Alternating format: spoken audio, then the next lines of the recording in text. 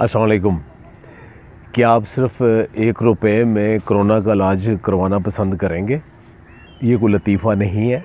कोई भी virus, bacteria या डस्ट पार्टिकल, वो हमारे मुँह और गले में होते हैं तो उसमें गरारे और स्टीम के साथ, वो काफ़ी हद तक वो जिसम के ऊपर वो हमलावर या बीमारी पैदा नहीं करने के काबिल रहते और मर जाते हैं। लेकिन जैसे ही ये कोई भी पैथोजन गले से नीचे हमारे फेफड़ों की तरफ़ जाता है तो वहाँ अल्लाह ताला ने एक कुदरती निज़ाम रखा हुआ है, जिसे म्यूक्यूसलरी क्लियरेंस कहते हैं, यानी कि जिसे हम उर्दू में कह सकते हैं बलगम का निकलना। तो उसमें सेंसिटिव जो लंग्स के टिश्यू है, वहाँ तक पैथोजन या डस्ट पार्टिकल के पहुँचने से पहले पहले ही जो एयरवेज़ है, उसके अंदर ही एक विलाई से होते हैं प्रोजेक्शन सी होती हैं, कि जो कि बैक्टीरिया को भी वायरस को भी, और जो दूसरे भी जो पार्टिकल्स होते हैं, उन्हें वो जिस, जिसम से बाहर निकाल देते हैं और बीमारी से बच जाते हैं। तो कोरोना के अंदर भी यही होता है कि लंग्स के ऊपर बहुत ज़्यादा अटैक होता है, लेकिन ये कुदरत का एक निज़ाम है, ये एक सफ़ाई का निज़ाम है, दफ़ा का निज़ाम है।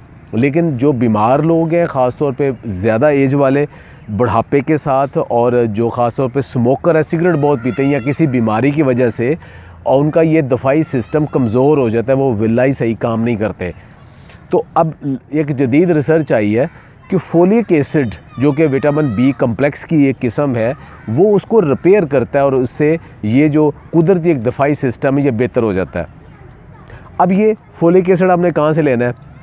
भाई फोलिक एसिड पचास रुपये की सौ गोलियाँ आती है। यानी एक दिन में आप दो गोलियाँ खानी है, एक रुपये में दो गोलियाँ। अच्छा क्या फोलिक एसिड खुराक में भी पाया जाता है? जी हाँ ये कुछ फ्रूट में पाया जाता है। जैसे अंगूर हैं, केला और उसके अलावा फिर एवोकेडो में और सिट्रस की जो वैरायटी हैं, या आजकल किन्नू वगैरह आ रहे हैं सारे इनके अंदर भी ये पाया जाता है। इसके अलावा ये होल ग्रेन्स के अंदर पाया जाता है। जैसे ये किनवा के अंदर बहुत ज़्यादा पाया जाता है। उसके अलावा फिर ओट्स के ऊपर और जई के ऊपर, ये जिसे हम कहते हैं, बारले, उसके ऊपर पाया जाता है। फ्लैक्स सीड में पाया जाता है, जो कि ये जैसे विरसा के मल्टीग्रेन आटा है, उसके अंदर ये सारा कुछ मौजूद है और मुरिंगा के अंदर भी पाया जाता है। तो ये ताकि कुदरती एक तरीका है।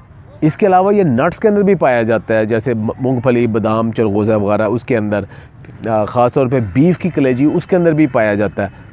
इसके अलावा फिर कुछ सब्जियों के अंदर पाया जाता है, जैसे साग, पालक, मेथी, गोभी और ब्रसल स्प्राउट्स और ख़ास तौर पे ब्रोकली आजकल आ रही है।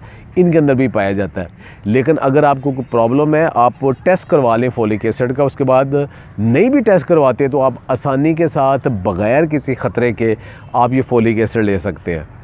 खुश रहें, आबाद रहें, खुशियाँ और आसानियाँ बाँटें। अल्लाह आपको सेहतमंद रखे।